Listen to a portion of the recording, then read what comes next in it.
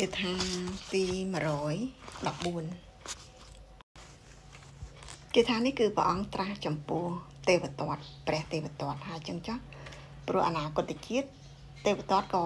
គង់តែខ្លាយទៅជាព្រះបច្ចេកពុទ្ធមួយព្រះអង្គគឺលោកតែងតែចង់អគាតែងតែចង់ព្យាបាលតែងតែចង់សម្រាប់ព្រះអង្គចឹងណាចឹងហើយភិក្ខុទាំងអស់ហ្នឹងក៏លើក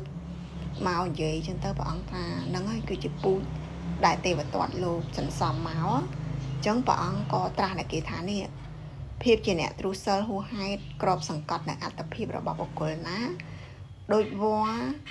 ដែលរូបរិទ្ធដើមឈើបុគ្គលនោះឈ្មោះថា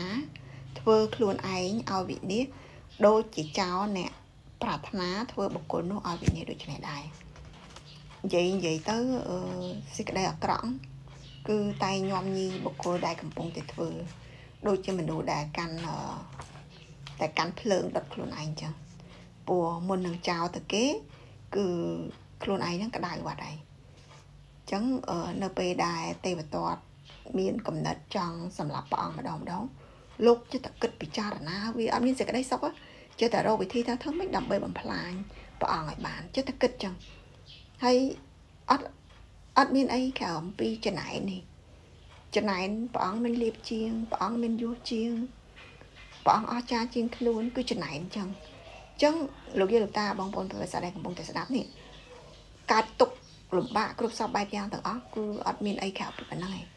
គេល្អជាងយើង គេអស្ចារ្យជាងយើង គេក្រំបាយជាងយើងហ្នឹងហើយរឿងមួយទៀត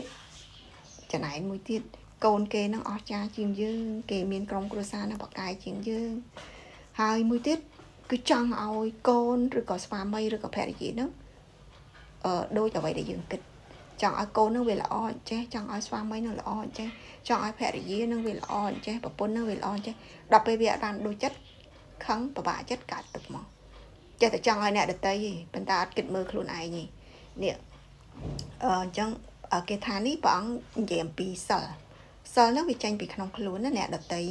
យើងចិត្តតែគិតពីអ្នកដតីចេះចេះចេះចេះប៉ុន្តែយើងអត់បានពិនិត្យមើលសិលធម៌សិលនោះគឺសិលធម៌របស់ខ្លួនយើងទេអត់បានពិនិត្យឲ្យស៊ីជម្រៅទេ